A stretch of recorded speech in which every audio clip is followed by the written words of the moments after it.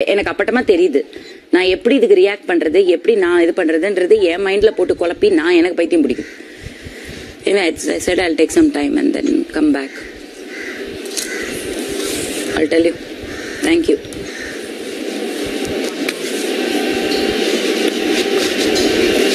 Have nothing against you personally. I would tell I you have that. nothing against you. A lot of people gave me a lot of information which definitely confused my opinion.